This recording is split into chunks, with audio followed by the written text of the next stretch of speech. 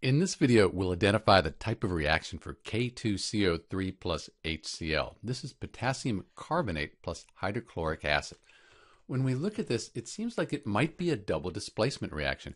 Potassium, that's positive. We have our positive hydrogen ion. They could switch places, and that would be double displacement. The potassium would be with the chlorine, which we see, but then the hydrogen and the carbonate ion, that doesn't happen over here. So as written, this is not a double displacement reaction.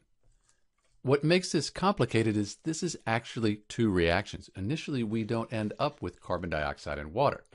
First, we're going to get carbonic acid. So let's write that in. We have H2CO3. So this reaction happens first, and this is a double replacement reaction.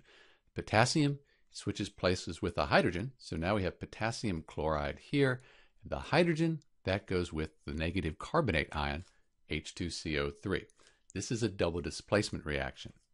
Once that happens, this H2CO3, this carbonic acid, it breaks down. And it breaks down into carbon dioxide and water. So that's decomposition.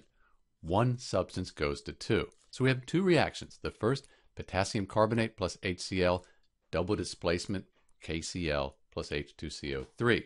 The second reaction is the decomposition where the carbonic acid it breaks down. If you need help balancing this equation, it's not balanced right now, there's a link in the description.